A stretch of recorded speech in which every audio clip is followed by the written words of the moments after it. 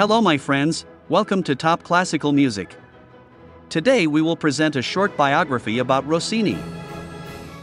Gioachino Antonio Rossini, February 29, 1792 to November 13, 1868, was an Italian composer who gained fame for his 39 operas, although he also wrote many songs, some chamber music and piano pieces, and some sacred music. He set new standards for both comic and serious opera before retiring from large scale composition while still in his 30s, at the height of his popularity. Born in Pesaro to parents who were both musicians, his father a trumpeter, his mother a singer, Rossini began to compose by the age of 12 and was educated at music school in Bologna. His first opera was performed in Venice in 1810 when he was 18 years old. In 1815, he was engaged to write operas and manage theaters in Naples.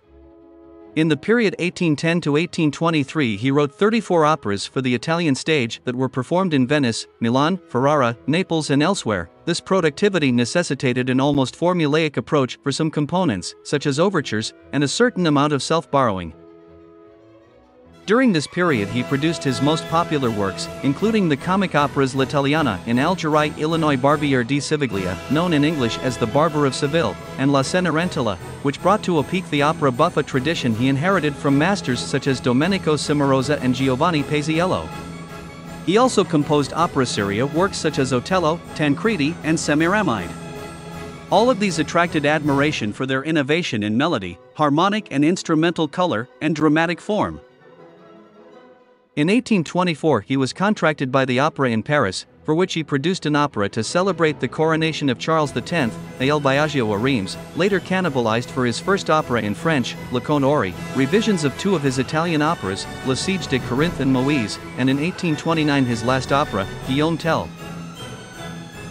Rossini's withdrawal from opera for the last 40 years of his life has never been fully explained. Contributory factors may have been ill health, the wealth his success had brought him, and the rise of spectacular grand opera under composers such as Giacomo Meyerbeer. From the early 1830s to 1855, when he left Paris and was based in Bologna, Rossini wrote relatively little. On his return to Paris in 1855, he became renowned for his musical salons on Saturdays, regularly attended by musicians and the artistic and fashionable circles of Paris, for which he wrote the entertaining pieces Péchés de vieillesse. Guests included Franz Liszt, Anton Rubinstein, Giuseppe Verdi, Meyerbeer, and Joseph Joachim. Rossini's last major composition was his Petite Messe Solennelle, 1863. He died in Paris in 1868.